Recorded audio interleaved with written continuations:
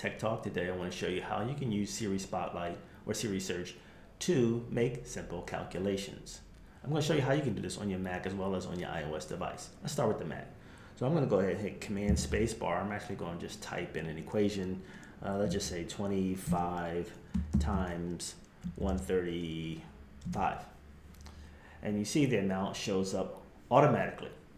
And you can do this even simpler with Siri. Okay, to activate Siri, I'm going to press and hold Option and the space bar. Hey Siri, what is 144 divided by 4? The answer is 36. Okay, now I'm going to go ahead and do the exact same thing, but on my iOS device. I'm using my iPhone this time. I'm going to swipe down from the middle of the screen.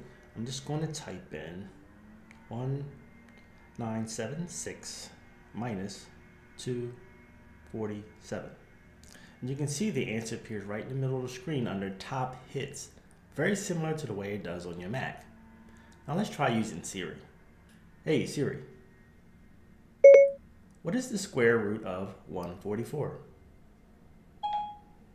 The square root of 144 is 12. There you have it. So you can use Siri Spotlight Search on your Mac and your iOS device to get quick answers to simple equations. My name is Tim B. Thanks for tuning in to this very short tip. Check me out next time.